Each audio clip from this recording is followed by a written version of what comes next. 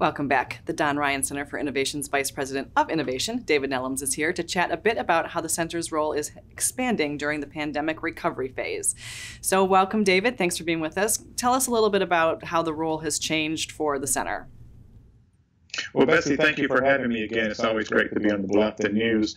Uh, traditionally, the Don Ryan Center has always been a business incubation uh, to help startup companies in you know early stages, that type of thing, a paid 12-month program, and we've then expanded to having membership for uh, people that were interested in being involved in the business community and getting some information from us that way. But the town of Bluffton has recently passed the Business Resiliency Plan, of which the Don Ryan Center is a large part. And part of that is now offering free memberships to every company that has a Bluffton business license. And as you know, the way business license work in the state, that can be companies from Hilton Head, from Port Royal, from anywhere. So we've opened the Don Ryan Center up for consultation for companies that need advice from our staff or from our mentor pool or from other resources to help them deal with all the challenging and, and heretofore never seen before challenges they've had before in the business community. Right. Well, what a fantastic resource we have having you guys in town. So that's pretty lucky on our part, I think. So, how can being a part of the Center for Innovation help the small businesses? I know you talked about the free membership and, and some flex space going on. Tell us a little bit more about that. Well, it's really connecting you to resources. The the new space we have out at Buckwalter Place is called the Hub. It's a physical location that we've been it's been in the works for three years, and the ironic thing is now that it's ready, we can't go into it quite yet because of COVID, but we'll be there soon.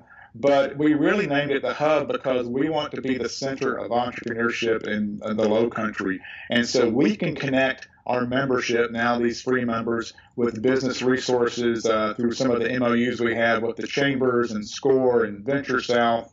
Not only that, but our mentor pool and other people. We're building a community of business uh, networking and business members that can share information.